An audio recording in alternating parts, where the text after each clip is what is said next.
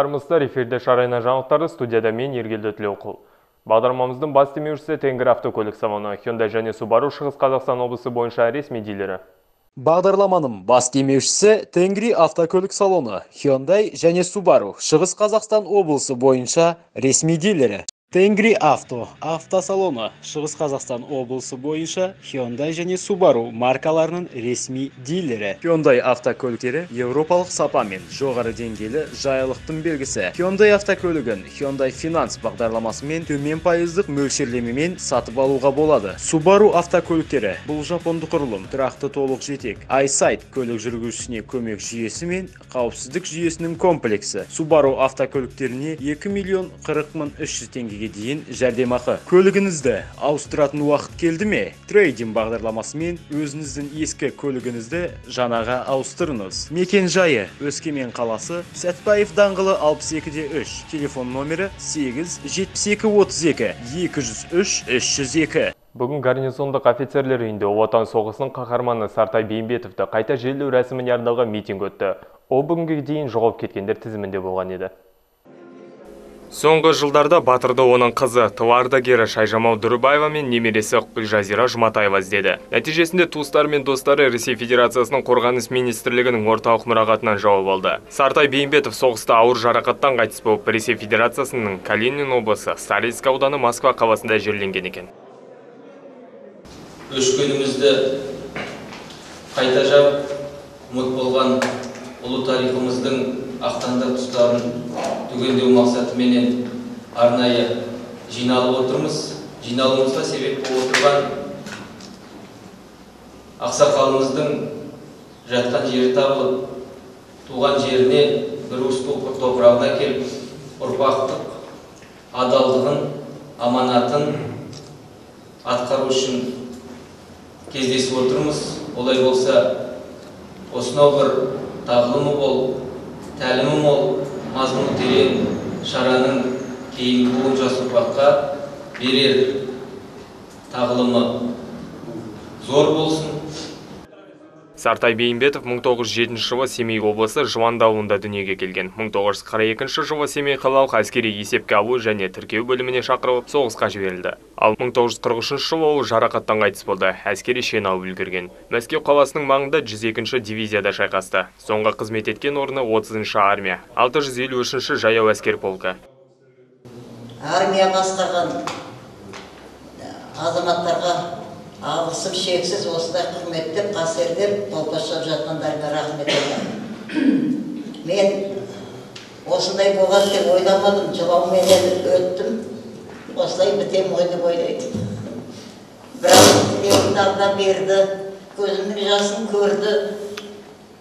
Мына балаларымның арқасында гүлжазира жұматқызының арқасында сонау москваға барып москвадан әрі үш жүз жиырма шақырым жерге барып москвадағы адамдар да оң түзді жылы жүзді адамдар екен қарсы алды Салтанатты шараға қала әкімінің орынбасары, әскери қызметкерлер, Ұлы Отан соғысының ардагерлері қатысты. Қаһарман батырдың есімі енді мерекелік жиындарда, білім мекемелерінде және өзге орындарда аталатын болады. Батырдың сүйегі Семейден 65 шақырым жердегі көлік станциясында қайта жер қойнауына табысталатын болады. Ергел Тілеуқы, Нұрлан Оразалин, Сұңқар Томхан, ТВК Алтарнасы.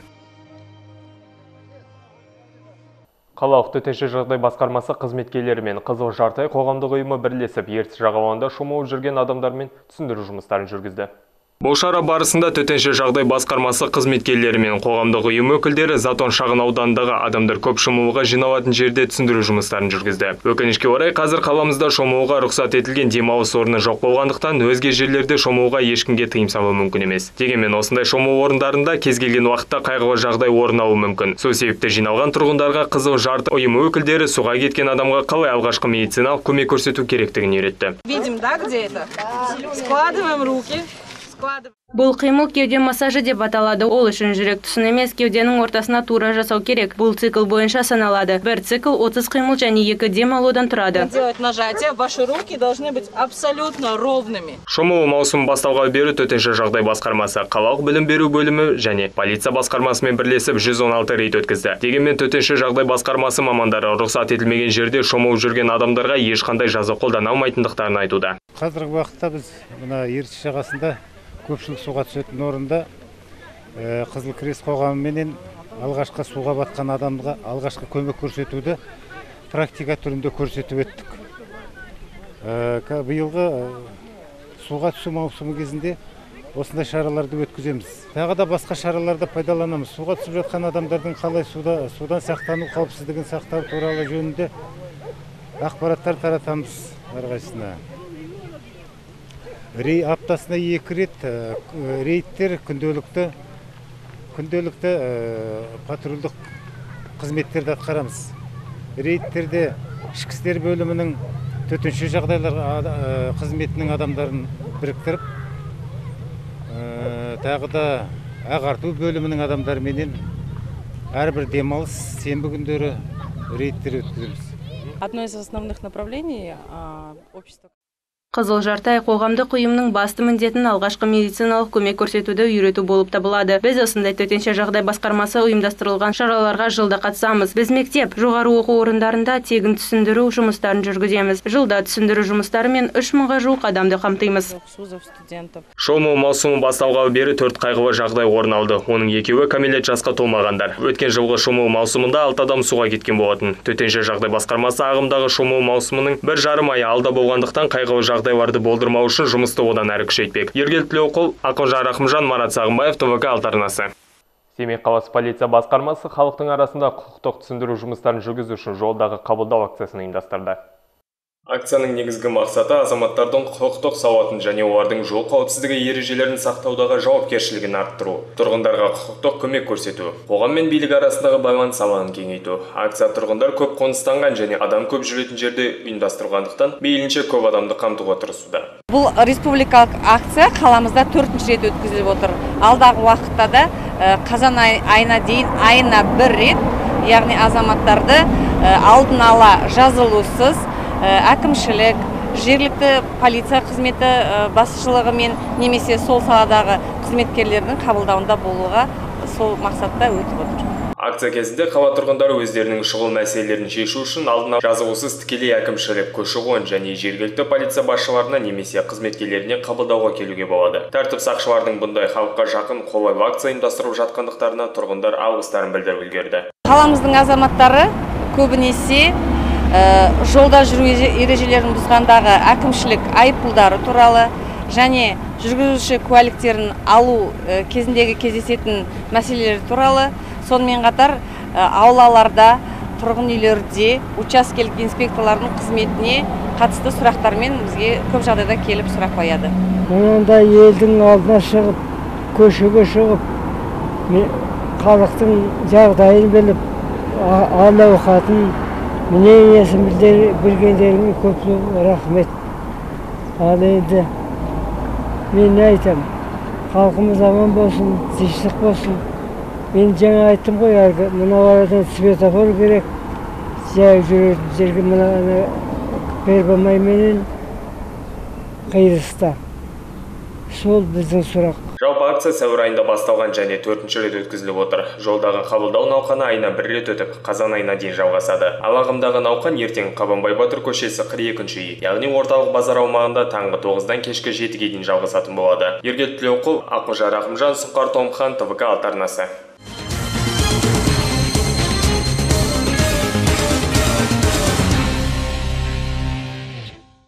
Қалалық ақпарат орталығында Семей қаласы тұрғын үй коммуналдық шаруашылығы бөлімінің басшысы Амантай Өтелбаевтың қатысуымен баспасөз конференциясы өтті. Біраз уақыттан бері қала тұрғындары ағаштарды жаппай кесіліп жатқандығына куә болды.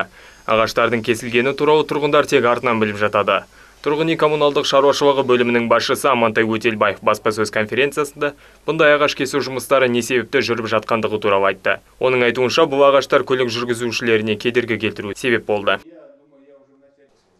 Әр апта сайын облыстық ішкі істер департаментінен өтініштер түсіп жатады. Өсіп кеткен ағаштардан бағдаршамдарды және өзге де белгілер көрінбей қалады. Сондықтан біз сол орындарға тиісті органдарды шақырып олар бұл ағаштармен не істейтінін шешеді толықтай немесе шет шетінен кеседі агрономдар семей орманы қорығының өкілдері және басқа да құзырлы органдар кіретін комиссия құрылды. Әлбетте олар ағаштың жойылуына үзілді кесілді қарсы. Олардың пайымдауынша тек ағаштарды санитарлық қысқарту керек дейді. Одан кейін ағаш ары қарай өсуін жалғастырады. Ерге тілеуқұл ақұжар рахымжан сұңқар томхан твк альтернасы естеріңізге сала кетсек бағдарламамыздың бас демеушісі автокөлік салоны hyundai және subaru шығыс қазақстан облысы бойынша ресми дилері Бағдарламаның бас демеушісі Тенгри автокөлік салоны, Hyundai және Subaru Шығыс Қазақстан облысы бойынша ресми дилері. Тенгри авто автосалоны Шығыс Қазақстан облысы бойынша Hyundai және Subaru маркаларының ресми дилері. Hyundai автокөліктері еуропалық сапамен жоғары деңгейлі жайлылықтың белгісі. Hyundai автокөлігін Hyundai Finance бағдарламасымен төмен пайыздық мөлшерлемемен сатып алуға болады. Subaru автокөліктері бұл жапондық құрылым тұрақты толық жетек. iSight көлік жүргізушісіне көмек жүйесі мен қауіпсіздік жүйесінің комплексі. Subaru автокөліктеріне 2 миллион 40 мың 300 теңгеге дейін жәрдемақы. Көлігіңізді ауыстыратын уақыт келді ме? Трейдинг бағдарламасымен өзіңіздің ескі көлігіңізді жаңаға ауыстырыңыз. Мекен жайы Өскемен қаласы, Сәтпаев даңғылы 62-де 3. Телефон номері 8 72 32 203 302. бүгіндікке келіп жеткен ақпараттар легі осындай амандықта жүздескенше